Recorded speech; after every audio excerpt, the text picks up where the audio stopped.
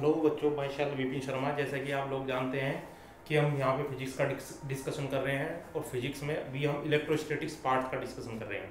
Electrostatics को मैंने चार पार्ट्स में डिवाइड किया हुआ है, जिसमें से एक पार्ट में करा चुका हूँ, दूसरे पार्ट चल रहा है। ठीक है? दूसरा पार्ट के भी दो टॉपिक बचे हुए हैं, एक टॉपिक आज हो जाएगा, एक नेक्स्ट वीडियो में कंप्लीट हो जाएगा। ठीक है? तो चलो, आज का टॉपिक है हमारा electric dipole in a uniform electric field कि जब हम इलेक्ट्रिक डाइपोल को इलेक्ट्रिक डाइपोल क्या होता है? जिसमें दो चार्ज होते हैं, एक निगेटिव चार्ज होता है, एक पॉजिटिव दोनों एक फिक्स डिस्टेंस पर ठीक है? Electric dipole in a uniform electric field then find out the torque on applied that ठीक है? या इसको सॉरी इसको हम ऐसे भी लिख सकते हैं। ठीक है? Torque on an electric dipole when placed in a uniform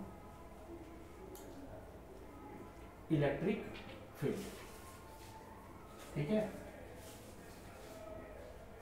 torque on a electric dipole when electric dipole placed in uniform electric field. ठीक है? तो ये आज का हमारा टॉपिक है। चलो हम डिस्कशन करते हैं इस पर सबसे पहले हम क्या करेंगे? यूनिफॉर्म इलेक्ट्रिक फ़ील्ड बनाएँगे। ठीक है? तो उसके लिए मुझे क्या करना होगा? दो प्लेट में लूँगा। इस पर पॉजिटिव चार्ज है। ठीक है और इस पर सेम इतना ही निगेटिव चार्ज जिससे इलेक्ट्रिक फ़ील्ड लाइंस निकलेंगी और वो एक दूसरे के पैरेलल ठीक है?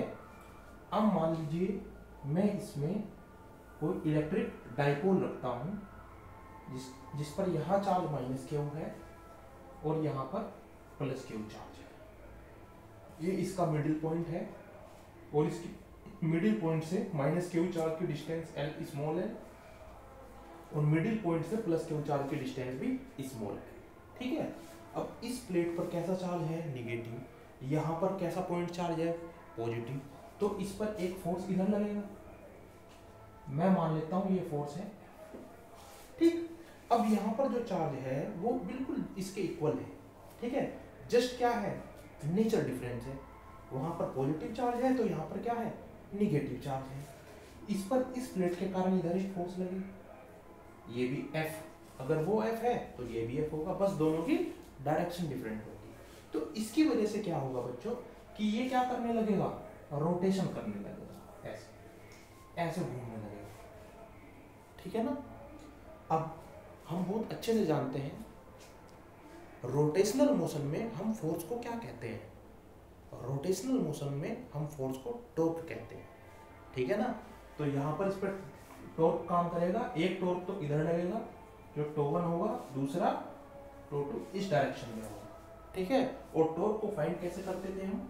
टोर्क होता था फोर्स इनटू परपेंडिकुलर डिस्टेंस इस परपेंडिकुलर डिस्टेंस का क्या मतलब है? इस परपेंडिकुलर डिस्टेंस का मतलब है मान लीजिए ये कोई हमारा पेन है, मैं इस पर ऐसे परपेंडिकुलर एक फोर्स लगा रहा हूँ इस साइड ठीक है? इस साइड में। तो इस फोर्स से इसकी परपेंडिकुलर डिस्टेंस जो भी होगी, वो हम यहाँ पे यूज़ करेंगे। ये फोर्स इनटू ये परपेंडिकुलर डिस्टेंस अच्छा एक बात बताओ। इसके लिए यहाँ पर परपेंडिकुलर डिस्टेंस क्या है? इस फोर्स के लिए। क्या ये है क्या? है ना? और अगर ये एंगल थीटा हो गया तो ये कितनी हो जाएगी? एल साइन थीटा ठीक है ना? इसी तरह से इसके लिए परपेंडिकुलर डिस्टेंस ये हो जाएगी। ये कितनी हो जाएगी? एल साइन थीटा ये भी एल साइन थीटा हो जाएगी क्योंकि ये एंगल थीटा है तो ये भी थीटा हो जाएगा। ठीक है? अब यहाँ पर जो टोटल टॉर्क होगा टॉर्क नेट वो हो जाएगा tau one plus tau two tau one कौन सा टॉर्क है? जो यहाँ पर काम कर रहा है, उसकी वैल्यू कितनी है? Force F into perpendicular distance L sine theta plus tau two के लिए क्या हो जाएगा? Force F into perpendicular distance L sine theta ये हो जाएगा हमारे पास two F L sine theta अच्छा एक बात बताओ, जो ये फोर्स है इलेक्ट्रिक फ़ील्ड के कारण लग रहा है कौन सा फोर्स है? इलेक्ट्रिक फोर्स हो गया। इलेक्ट्रिक फोर्स की वैल्यू कितनी होती है? एफ़ इक्वल टू क्यू ठीक है?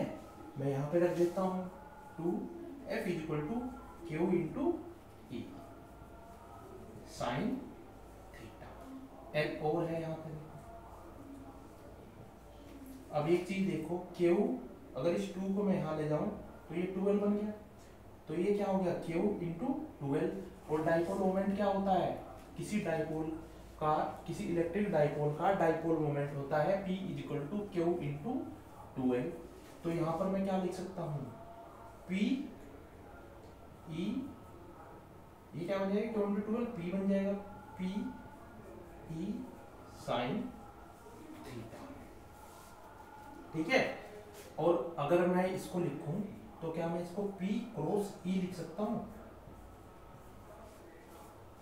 तो इसका मतलब क्या हो जाएगा? टोर्क की भी डायरेक्शन होगी, हमारे पास ये फॉर्मूला बन जाता है।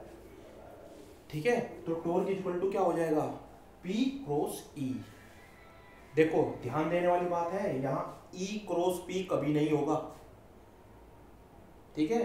क्योंकि यहाँ जो टोर्क की डायरेक्शन है ना बच्चों पी की डायरेक्शन कौन सी है ये वाली? ठीक है? और E की डायरेक्शन अगर मैं ये बनाऊँ तो P ये आ गया। देखो, अगर डायरेक्शन बनाऊँ मैं तो P तो इस डायरेक्शन में आया और E इस डायरेक्शन में आया। टॉर्क की डायरेक्शन क्या होगी? टॉर्क की डायरेक्शन होगी राइट हैंड कर्ल रूल से ऐसे घुमाओ अंदर की साइड तो टॉर्क बराबर क्या आ जाएगा? P क्रॉस E ठीक है? अब हम यहाँ पे इसकी स्टेबल और अनस्टेबल कंडीशन पढ़ते हैं। ठीक है? चलो, इसको मैं साफ़ कर देता हूँ। इसको भी पूरे को साफ़ कर देता हूँ।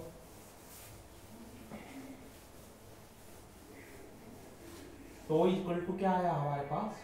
P क्रॉस E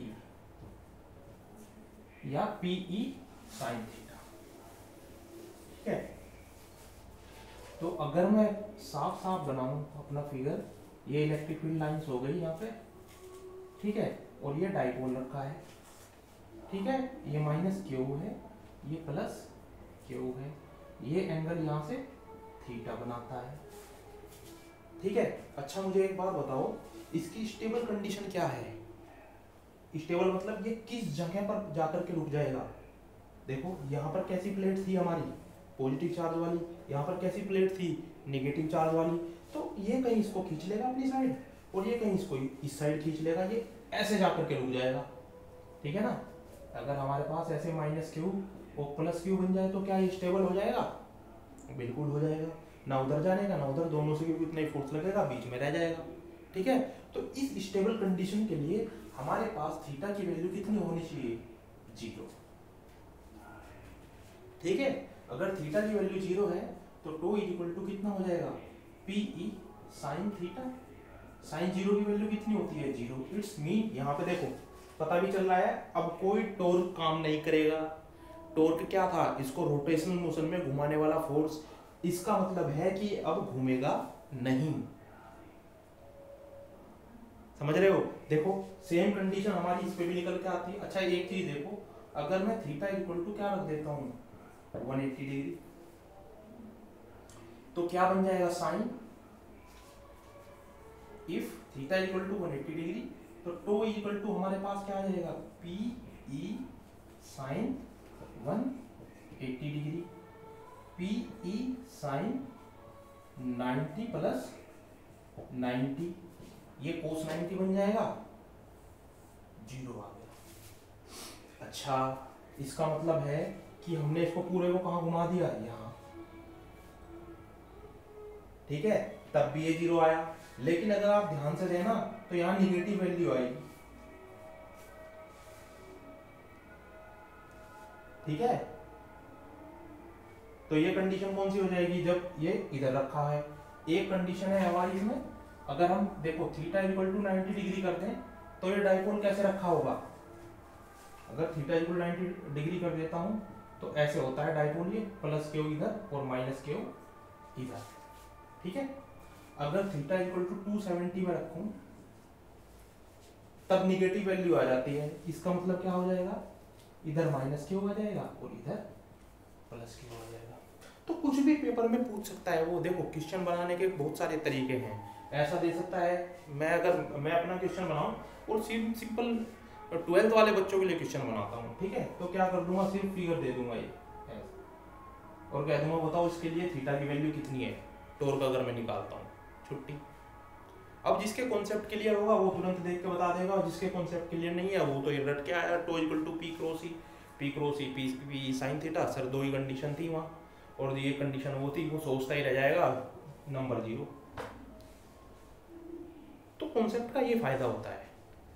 ठीक है? मोस्टली आज हमने क्या ज़िक्र किया? किसके बारे में पढ़ा, हमने पढ़ा टोर्क टोर्क किस पर? जब कोई इलेक्ट्रिक डाइपोल किसी यूनिफॉर्म इलेक्ट्रिक फ़ील्ड में रखा जाता है तो उस पर कितना टोर्क काम करता है? और हमने पढ़ा टोर्क क्या है? टोर्क कुछ नहीं है, सिर्फ़ एक फोर्स है। लेकिन वो फोर्स जो रोटेशन कराता है उस वाले फोर्स को हमेशा क्या बोलेंगे? टोर्क बोलेंगे। और उस टोर्क का नाम क्या रखेंगे?